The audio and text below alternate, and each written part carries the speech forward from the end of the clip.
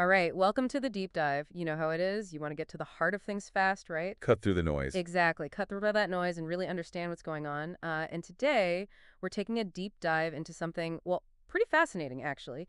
You flagged a seminar for us all about using AI to draft patents. Yeah, this is a hot topic. Oh, absolutely. So we've gone through all the materials from this seminar, really tried to wrap our heads around it, and we're going to break down the most important insights for you today. So by the end of this deep dive, you'll not only know what this seminar was about, but also see the potential and hopefully have a few aha moments along the way. Absolutely. And, you know, the materials you shared, it was really a very comprehensive overview of this seminar.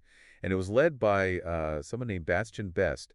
He's a patent attorney, but also a computer scientist, so really interesting background. Yeah, that combination is uh, pretty rare, I'd say. Definitely. And what I found interesting is that this seminar was so focused on the practical side of things. It's not just theory. It's about actually using AI in the real world to create patents. And I think that's what makes it so relevant for anyone who works with intellectual property. So no fluff, just really getting into the nuts and bolts. Yeah, practical stuff. And looking at the materials, it seems like this Bastian Best guy, he really structured the seminar in a very methodical way, didn't he? It wasn't just random AI demos thrown together. No, no, definitely not. It followed the actual process of drafting a patent application, like step by step. So they started with the very basics, right? Understanding the invention itself, you have to know what you're dealing with before you can even start thinking about patents. Of course, the foundation. Exactly. And then they went on to uh, creating the claims. And, you know, claims are like the heart of a patent. They define what's actually being protected. Yeah, that's where the legal boundaries are set, right? Exactly. And after that, they covered, well, pretty much everything else you need to know to create a full patent specification. So things like the background information about the invention, summarizing what it does, describing it in detail, and even considerations for including drawings. So the whole package. Yeah, and then of course a good chunk of the seminar was dedicated to the AI part itself. Different tools and techniques and how to actually use them effectively. Sounds like a very logical progression. You come away with a complete picture. Yeah, a very structured approach. And it wasn't just about grasping the high-level concepts, right? It was about actually learning practical skills. Yes, definitely. They had two main learning goals.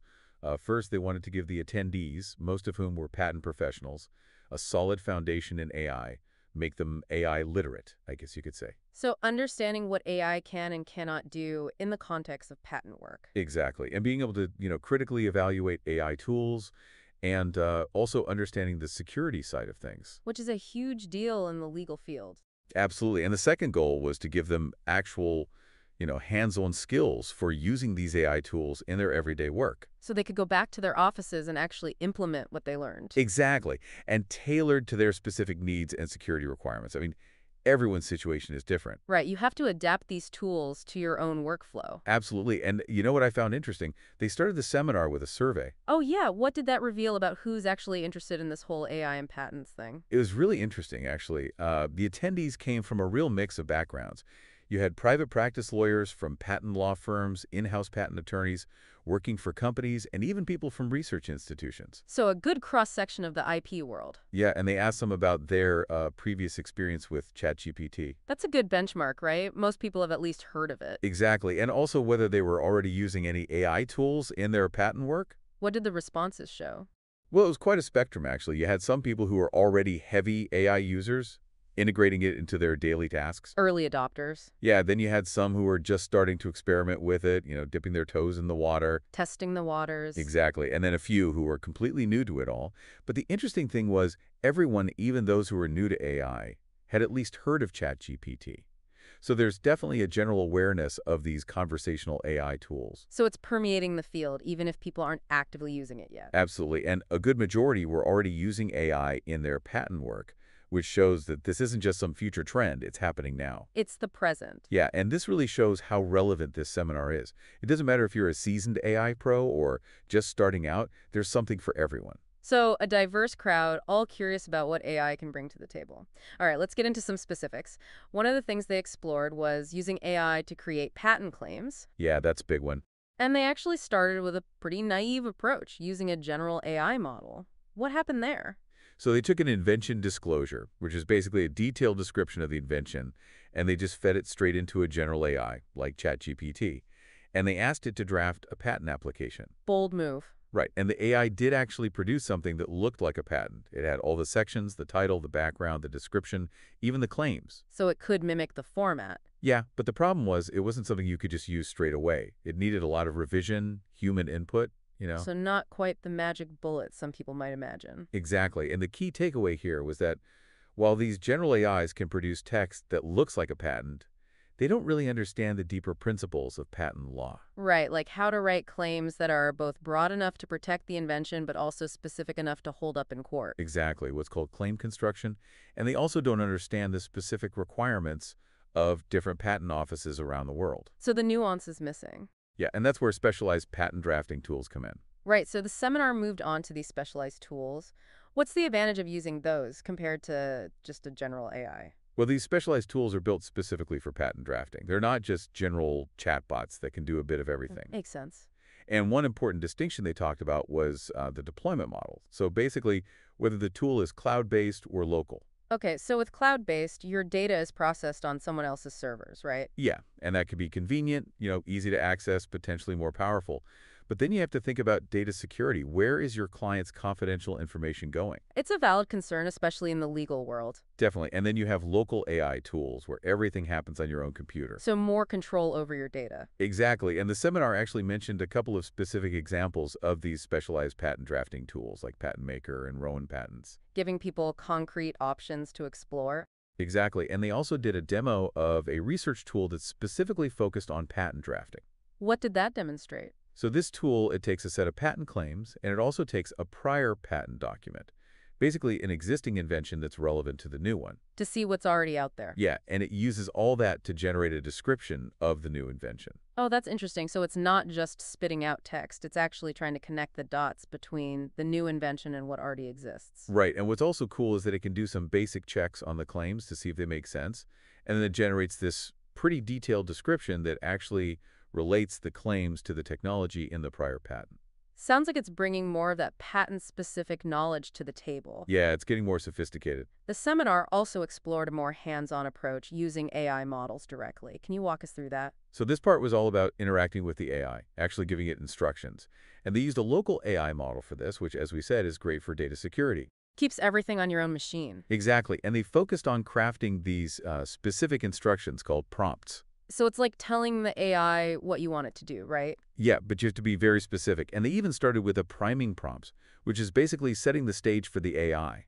Like telling it, okay, you're an experienced patent attorney who specializes in European patent applications. So you're giving it a persona to work with. Exactly. And the idea is that by doing that, you're going to get more focused and relevant responses from the AI. More in line with the kind of expertise you need. Right, and one of the first things they tried was to just give the AI the whole invention disclosure document and ask it to generate a summary. So like a high-level overview. Yeah, and what happened was the AI produced information that wasn't even in the original document. They called it a hallucination. A hallucination. Yeah, basically the AI just made stuff up. Oh, wow. So it's not as simple as just feeding it information and trusting everything it spits out. Definitely not. You always have to double-check, verify everything.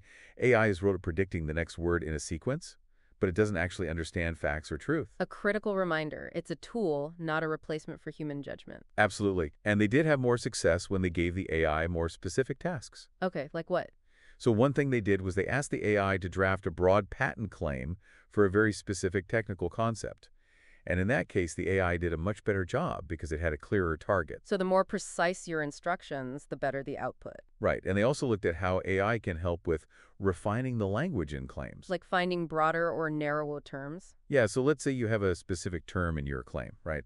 You can ask the AI to generate a hierarchy of related terms, like starting with very broad terms, then going to more specific ones. An example would be helpful. Sure, so imagine your claim uses the term neural network.